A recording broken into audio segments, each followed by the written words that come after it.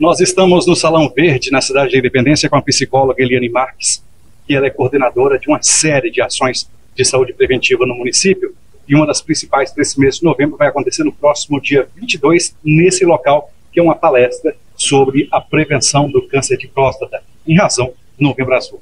Nós queremos convidar vocês para a palestra dia 22 às 10h45 da manhã aqui no Salão Verde, para todos os homens. Vai ter um médico especialista que vai estar trazendo uma abordagem, especialmente falando das especialidades do trabalho preventivo de cânceres que estão sendo trabalhados agora, câncer de boca, né, os cânceres de próstata, todos os tipos de especialidade que vai estar sendo abordado nessa palestra. O homem é um tanto quanto relapso e se expõe, além da falta de cuidados, ele se expõe a atividades que são muito é, mais perigosas, oferecendo risco a diversos cânceres. Desde a cavalgada no campo, andar muito de motocicleta é, pode a, afetar, pode influenciar nessa questão. E por estar também muito exposto ao sol, até o próprio câncer de pele.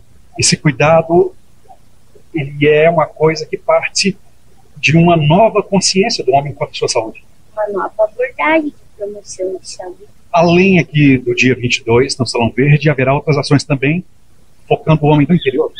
Interior, teremos dia 24 em São Valentim, comunidade São Valentim, às 14 horas, com a equipe de posto de saúde. O dentista vai estar falando sobre câncer de boca. Temos um grande uh, número de usuários uh, fumantes, né? Ele vai estar falando sobre isso um pouco também e também na comunidade Glória, dia 29 do SF1, que vai estar a equipe, a doutora também e a enfermeira falando da prevenção.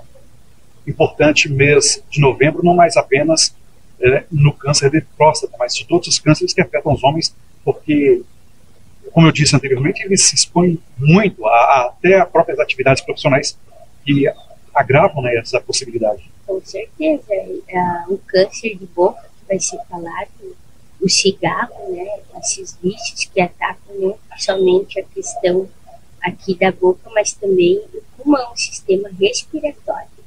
Então, uh, não é somente um fator, é vários que podem desenvolver outros tipos de câncer.